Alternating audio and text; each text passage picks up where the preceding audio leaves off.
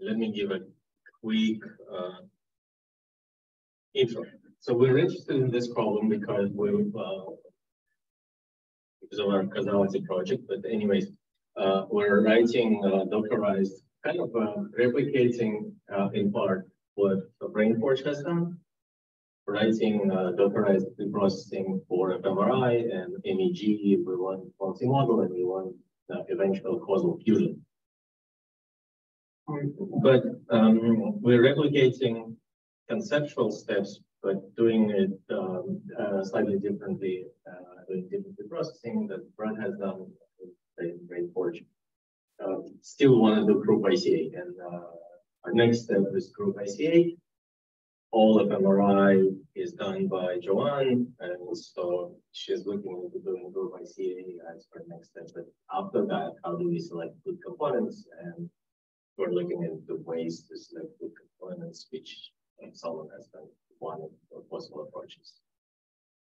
Good, good um, hi everyone. I'm, I'm a little nervous. Um, it's my first. Um, Everyone's given it a much worse than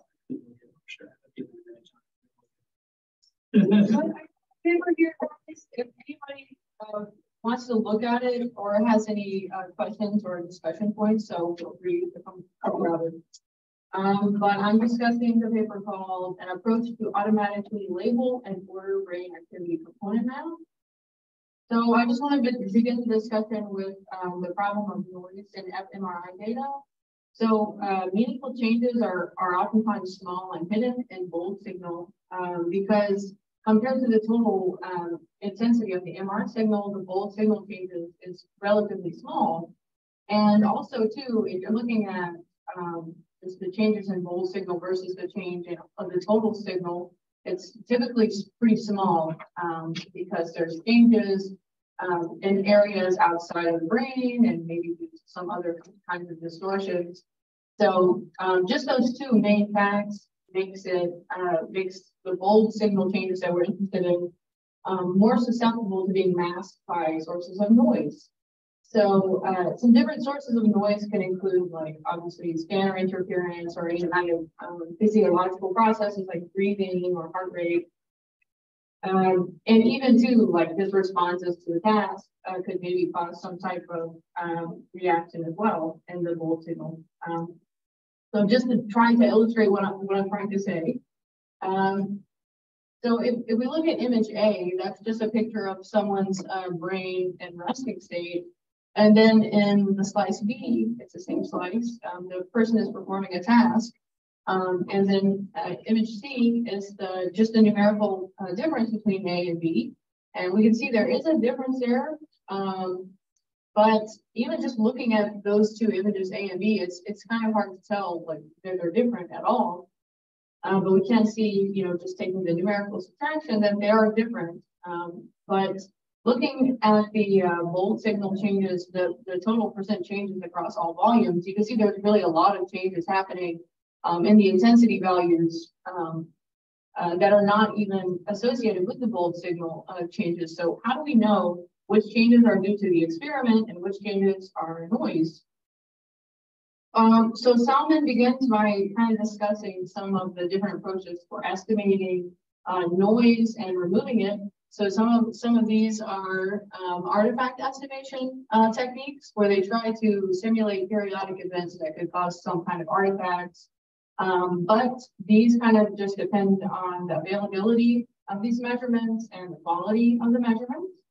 And also too, it can be difficult to estimate some types of events like head motion uh, whereas with the data-driven approaches, which is what this paper does, um, they're mainly based on data decomposition techniques, and they make minimal to no assumptions about the relationship between the noise and the, the MR signal.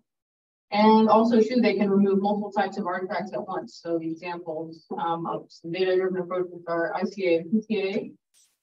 And so this is just what the paper is doing. Um, so they wrote this software toolbox that combines a lot of the stuff that they're doing with um, fMRI data analysis um, into one conglomerated um, object that you can interact with. So um, it unifies those tasks. Um, and it also, he provides these pre-trained models that you can use with the software uh, to just kind of speed up the, the, the time that you have to spend trying to classify the, the components between noise or um, network uh, connectivity components. And then um, also too, you can just use the software as, as a standalone um, software. So uh, this is just an overview of what um, this auto labeler toolbox is doing. So uh, pretty much it just takes in this testing data, uh, which is these four data sets, the FBIRN data set, Co and the COBRE data set are um, the result of the uh, software that computes the spatial maps and the time course. And then he just also just uses these um, HCP and GSP data set spatial maps as well. And then in terms of the training data, uh, he trained two separate models. Uh, one of them he trained with the group level ICA spatial maps uh, from a previous work that he did with um, the FR data set. And also these aggregated spatial maps that were computed from the GIFT uh, toolbox. So uh, they trained this model inside of this noise cloud toolbox. And the noise cloud toolbox is this uh, software that uh, finds these uh, spatio spatiotemporal uh, features that are used to train um, this classifier, uh, which is an ElasticNet um, GLM. And um, then from that, uh, the classifier is used to determine whether or not one of these components is uh, part of the intrinsic connectivity network or if it's noise. And then so once um, once we get those, um, according to this paper's approach, um, they use these anatomical atlases to assign the anatomical labels to the components. And then they use um, some different functional uh, atlases to assign the functional labels. And uh, once they have the, the, functional labels of the components that are not noise, um, they can build this FNC matrix, and then they reorder it using this brain connectivity toolbox so kind of how the training data was assembled, uh, they took this at the aggregates um, spatial maps, which are just output from the GIFT software um, from the uh, COBRE, HCP, and GSP data sets. And then they just took the mean spatial maps and used those for one model. And then the other model, they took the total uh, spatial um, maps from the group ICA done on the FBIRN data set, and they just randomly sampled to get uh, 3,000 of those. So uh, this is how they described in the paper that they went about doing this group independent component analysis. So uh, for one subject, we might just look, uh, you, you would start by looking at their fMRI file, and then you flatten it into this two-dimensional matrix, uh, which is time by voxels. And then uh, they take this matrix and they perform uh, principal component analysis on it. And so they transfer, uh, transform all of the different uh, data objects from this bold matrix into this uh, orthogonal PCA space. And then uh, they go through and do that for every subject. They get the PCA matrix for each subject. And then they concatenate all of these different subjects PCA matrices into one matrix of PCA components. And then they apply PCA one more time on that matrix, and they uh, have this other matrix of PCA components that they finally perform ICA on. And so the result is these spatially independent maps uh, where they're including noise and brain functional network components. And each component uh, includes a 3D brain map that shows the location of either the network or the artifact so this is uh, from the paper, it's just kind of showing uh, the labeled FBIRN group ICA uh, components, and this was used to train the classifier. And these colors are just corresponding to the different parcellations of the functional atlases that he used in order to assign the functional labels. And so this is how the noise cloud toolbox kind of works. Um, this picture is from the noise cloud um, paper. And so this is just kind of outlining how they perform their experiment. Uh, but how they go about training this model is, uh, so they take in the group ICA components, from what I understand. Um, I'm trying to wrap my head around this a little bit too, but um, I think they take in these group ICA components and they find these features uh, from those ICA, IC independent components. And then they train this um, ElasticNet GLM. And that's the thing that does the classification. So uh, Noise Cloud is the toolbox that Salman wrote, not the toolbox that those people. Oh, no, no, no. Salman, Salman used Noise Cloud. and uh, to train a model. And then, but part of the software that Salman uh, wrote, you can just import this trained model. So you don't have to worry about training. You can import the model that you train from Noise Cloud. Uh, Noise Cloud is the GLM toolbox. It's Elastic Channel. Some kind of MATLAB thing. Uh, or is it Python? Um, I'm not sure if it's MATLAB. I don't. I'm not sure if it's MATLAB. It, it could be, but I, I know the, this is the person that wrote it. Her name is Vanessa Sochat. Um, but yes. Uh, so this is the thing that has the elastic net GLM inside of it. And Salman just trained this, and he provides these um, weights that you can just import using his software. So you don't have to train. Okay. Um, and so I, this is pretty new to me, so um, I don't exactly know uh, how this works, but from what I can gather, this GLM that's in the noise cloud toolbox, it uses uh, logistic regression with this um, elastic net penalty. So I think it uses these two equations, A and B, to find these optimal parameters, um, beta and beta zero, uh, that it can use in this um, logistic regression equation. And um, the uh, logistic regression function H returns a value between zero and one. And um, zero is being a noise component and one is a spatial map component.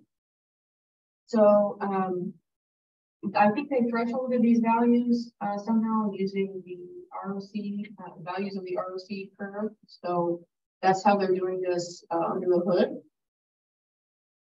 And so this is just, uh, this is like the different components that they got um, after using this noise cloud toolbox, uh, the pre-trained models.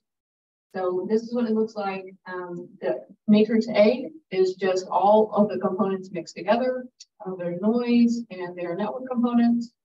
And then B is the noise component separated from the network components. And C is after they apply the functional labels to the components. And it's the adjacency matrix uh, between the two, uh, between the different uh, functional networks in the brain. And they use this brain connectivity toolbox to just kind of uh, like reorder this matrix such that the edge weights with the highest uh, weight go towards the um, so diagonal. And this is Yes, B is right. It's the connectivity between, like when they're grouped by, so the upper left corner of B is C, correct? So that's between, that's, that's the anatomical. And then the upper right corner of B is between the anatomical and what was classified as limits, correct? Okay. Um, and then these, uh, same thing here, um, where B is just all of the different sources, um, noise and the um, connectivity components. And then uh, E is uh, finding correlation between the noise and the um, network component for the brain.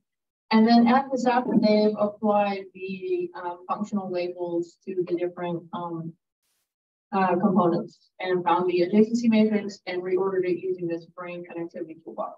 Yeah, more questions about, like, since we're talking about the connectivity as some kind of uh, quality control, uh, the classifier, does it use only temporal information or spatial only or both? Do you know? Like it uses both. I'm trying to yeah, yeah. Like what are the features? The spatial map, spatial map. Um, because GLM, I'm thinking maybe it is spatial and temporal features. Inside the feature matrix with your spatial and temporal features columns for each of n components. You have very good vision. That's my first observation. But yeah. so you have n components, and then you have for each of the next 246 features, which are spatial and temporal. How do you get the spatial features then? I wonder because you have the spatial map. No, it's like it's a mix of manual selected components and or like manual selected features and like automatically. Mm. Oh, this is the Sochat paper. Yeah. Um, I'm really not sure. Uh, mm -hmm. So something like um, what's the um, spec, spectral power of the, They just generated a bunch of features. like- Yeah, yeah, yeah, like- That it was just like the raw station. yeah, yeah, yeah, like me, variants, uh, things like that. I think that was maybe part, this part right here, where it's this feature development part, I guess. Maybe that's how they're, uh, creating the input to this model. So, Yeah, likely. Yeah, I was a little confused about this part too, like, what, what does that mean? Because it says in the paper, like, this generates two hundred and forty-six different features from the IC, so I don't know. Yeah, it looks like they used a bunch of different stuff. Um, In they the give, they give like a list. For Metrics to describe the distribution of Z-score values, so Mhm. kurtosis, skewness, yeah, okay. entropy, they do cluster metrics, mirror likeness. Uh, region, tissue specific activation percentages. They just like generated a bunch of features, it looks like.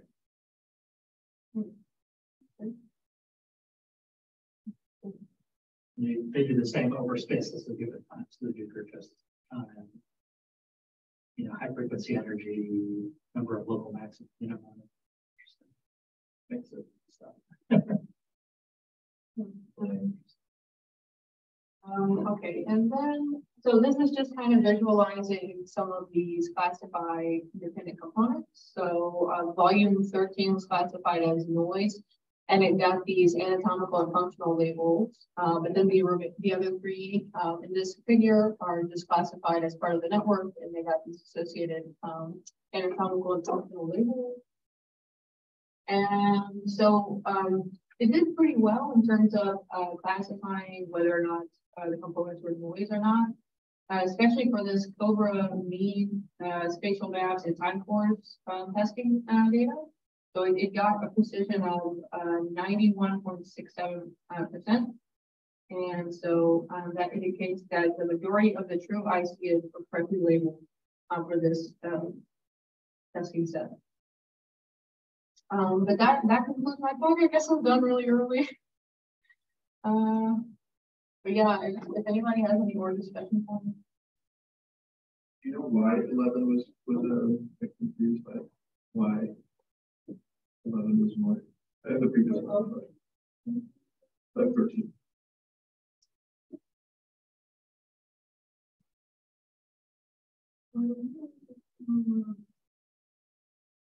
Let me, let me see if, this- if they mention it. Um, Could be the oral. Where is the left? Which one? You mean this one is noise I think it was- or this one? Volume thirteen. it looks pretty. Normal. Or, I guess it's like. you put the stuff for school. Well, there is this visual part, right? That's another, Oh, okay, it's only this. Hmm, Yeah, it's- it's something to maybe it's because it's like part of the. it's not just the spatial information, it's also the time. No, I know, I'm just. Yeah, but It's just like I'm wondering why, it's- super- I mean, you see it from the spatial information, because that's the example they. they- mm-hmm. Functional label ba- basal ganglia. Uh,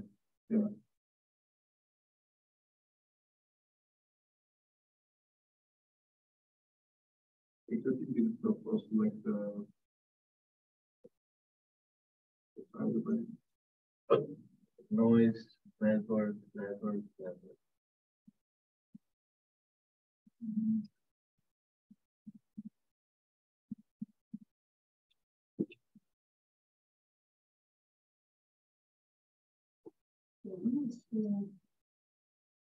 So we will discuss. Okay, I have a question. Um, I guess in the, in the previous slides, you mentioned like we do, uh, two PCA yeah, and then ICA, so it's like, uh, like why, why did you take the second PCA? Is it like a general method when you're dealing with this? Um. So I think, um, I'm not exactly sure, but. Yeah, they don't. Um. um, You can temple, do subjective, Do you have the whitening, uh, for IPA, the data whitening procedure? Uh, so it's not on the same, like, only output of the PC and then you do for PC on the same. I think so. Right. Wait, you have two different PCs or? Okay, you have time and you have off. Okay. got it. And then you combine them and start to, like, I see. Got it. Okay. Yeah, no, I'm just curious, like, is this like a general methodology? We typically will do a single subject PCA Mm, and do group PCA together.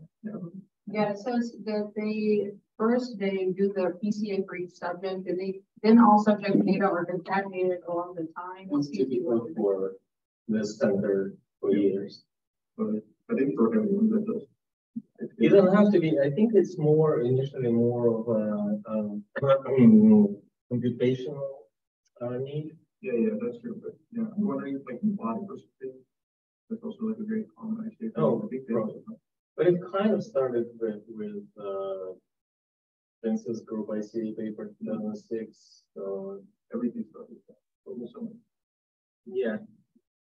It's like, it takes one paper, so to get inspired. Yeah. But Since the spatial ICs are identified, uh, from the reduced data using an ICA algorithm, so, um, Yeah, I think it's like, if you try to do ICA on like the full data, it's like, the amount of memory you need is like super, super high. And also it, um, it's, uh, it's not white where you have like many that issue. That's what I, yeah. Oh, no, you have to, ICA doesn't work without PCA. Yeah. And, uh, the magical answer from Aapo Hyvärinen and that I heard is like, don't know. He gave, he gave a token to somebody was, it's just like, it just works that way, I don't know, like, there is no exactly theoretical, uh, why. It could have, but it doesn't. Yeah. I think for everyone, I probably also have components, The further you go, the number of components, like if you do all the functions, it's like. Oh, you mean without reduction? Well, the problem becomes harder, yeah.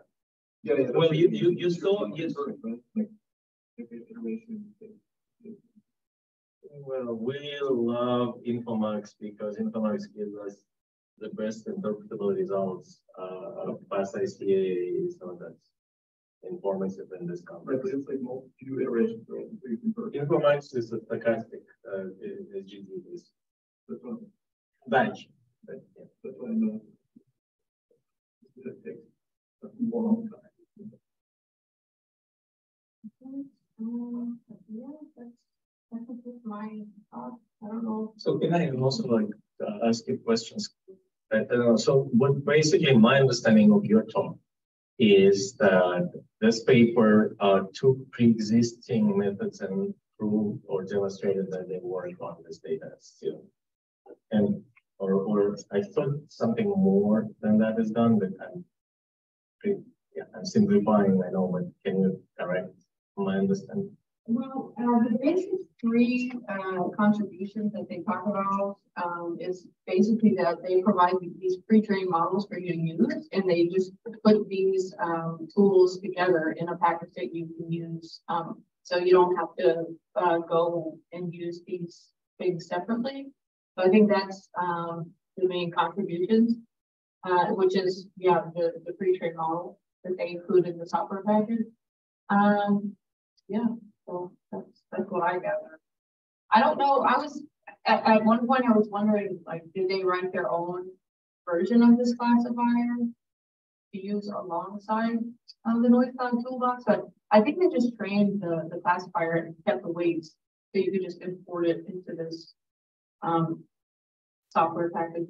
Yeah, it's interesting that it's a linear uh, model that works uh, well for them. No, but uh, for the context, maybe for people who don't know, um, it used to be about not so long ago, ten years ago maybe, uh, that you run your ICA on your own data set. And, uh, other people have established that the rank of ICA should be, uh, fifty or one hundred. Initially, it was a small round, but then we went to a higher round. So say one hundred, ICA is permutation invariant or permutation uh, un, un, under specified. So you don't know which component is which. You cannot say like my first component will always be, I don't know, amygdala or uh, You cannot uh, say it, but some will be. And for me, say with technical background to start with, I don't know which one is which. They all look something. Like, yeah, I don't know which one to remove, which one to keep, which one of the nose. So the procedure was go to the fourth author or third author on that page. Knock on his door, grab me and it's like, let's sit down and tell me which one are noise and we'll remove uh, and Eswar spend a lot of time, thankfully, and know, uh, so that's where it's coming from. And every time you're running an ICA, you're getting a different result. And there was a succession of tries to optimize that. I still have the code that uh, written by Eswar that generates a report for all of your components, include like a PDF report, including the spatial map and the temporal spectrogram. And based on temporal spectrogram, it gives recommendation like this this one doesn't have a frequency components that it should have, or it's like things like that. But it's still there's a manual step after that. You make a decision which one is back. Uh, then Neuromark came where I forgot who was the author on ICA with a reference, where we, we, we sort of saw the same components popping up again and again in each data set of fMRI, regardless task or um, uh, resting state. But the problem was that there are still variabilities that we want to retain. We don't want to assume this will be the component, just use this component and project the data into this component space. We still want to run ICA and find those components because they are slightly variable, meaningfully variable. And that's where the difficulty comes. And okay, we have an ICA with a reference where you at least, I don't, full disclosure, I don't know exactly how it works, but I assume that we specify the starting point and only adjust around the components uh, and the neural is processed such that alignment is preserved. The first component in this analysis is the first component in that analysis. Whatever was noise is noise. But we want more flexibility, and that's where this comes from. But I'm thinking of a deep learning classifier or something. Why not train a network instead of hand-crafted features, which apparently, according to this paper, still work quite well but uh, maybe it can just tell us again, this is noise, like just just uh, you know by looking at the spatial map sometimes is. But it's difficult, like with the components that Eva is point, pointed out. Spatial map looks okay. Why is it a noise? In the right cases like that, when spatial map is okay, the time course is not. Uh, and know, a lot of domain knowledge, and it's kind of again domain knowledge is uh, what we can automate with deep learning if we have enough data in at this center, at least we have a lot of data processed. And when I heard what Salman is doing, I was actually assuming that he's training a classifier like uh, AlexNet kind of thing. They can input, um, yeah, yeah, yeah. Uh, but uh, if, um, or maybe two or some undergrad, maybe like maybe there is still room there. Uh, maybe you can train a neural network to do the same but from raw component, spatial maps component, but there is temporal. I think someone did look at mm -hmm. deep learning, but it ended up being really tough uh, to get a model that's reliable. Mm -hmm. So that you know these simple models work so well and that can you know precision. Yeah, yeah. Well, the feature feature set is the key. Yeah, somebody spend time getting the right feature. We're pretty shocked the way in general I was in my previous lab. They were spending like hundreds of hours checking the server. It was just expensive. Don't speak for everyone. We do, we do spend some hours. These are like all, like, yes, allow Wow. These are like psychiatrist professors. I mean, their time is super expensive. Yeah. They're talking about like hundreds of thousands. Yeah, yeah because they were like graduate students are like the lower baseline, but everyone has to also be checked by a professor. So, like, yeah, that's a lot of work. Yeah, yeah they check every one of them, like two or three people, and then they looked at the ratings, and then they decided based on that. It's just like, you know, and that was already a really big lab with a lot of like technology. Like I just imagine smaller labs, you know, even less attractive way. Well, oh, yes, We're yes. pretty lucky. I mean, I mean, even the fact that we, you know, But this is not common. Uh, no, that's how we publish the paper, but we're not using it. Yeah, I I mean, like generally the fact that we're like thinking about these things, and it's, Well, yeah, we should make people use them somehow. That means people to use them. At least initial screening, so the professors don't spend as much of their valuable I think time. that's what we're doing. Now, Well, yeah, your mark is like, everything is uploaded to us, like we do here. Well, Brainforge is kind of like that. But you have to, it's a matter of trust. You have to have trust in Brad and it's not always the trustworthy. It's- No, yeah, it's, but that's what I mean, it's kind of funny, we're like pretty lucky. actually. Like, we don't do it. So Yeah. don't Have to dive deep into like understanding what are good ICA components. We used to. No, that's what I mean, yeah. Yeah, yeah. well, Thanks, Eswar, if you're watching this. Okay, any other, any other questions, uh, discussions? People online are, uh, unusually quiet today. Uh, If you have something to add, critique, or, um, uh, ask. No? Hmm? Maybe it's an early, we can finish early today then.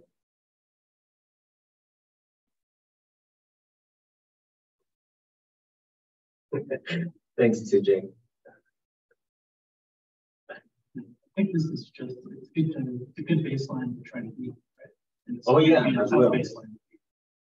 Because it's such a simple model, it has highly engineered features, right?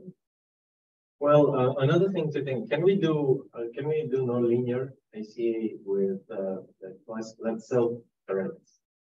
Uh, that kind of uh, knows the kind of components are good and then tries to extract them and self corrects on the fly. kind of. Yeah, yeah, yeah, yeah, exactly. Oh, sorry, uh, uh, something like that, it's info gap. So it, it does, it it collects all the noises on the go and then gives it a. uh, I mean, it's not, I, I don't think it's been tested for brain images, I don't see that, but, uh, uh, but they, they did for a lot of papers, like for a lot of image, uh, related data. And so, it- and, and it uses like contrastive learning and all. Keeps on collecting all the noises and spatially, spatially and temporally, and then gives it a correct. I'm not sure if that can be applied. Worth a look. Need to Watch out though, that you're not just getting the same ICA components. Right. Yeah, exactly. Yeah, it's like both labs, that you should always get the same ICA components. Mhm. As, might as well be a template. Yeah, exactly, you could have. us-. Well, okay, uh, then, uh, that will be a short, uh, so thanks everyone who's watching online. Uh, let me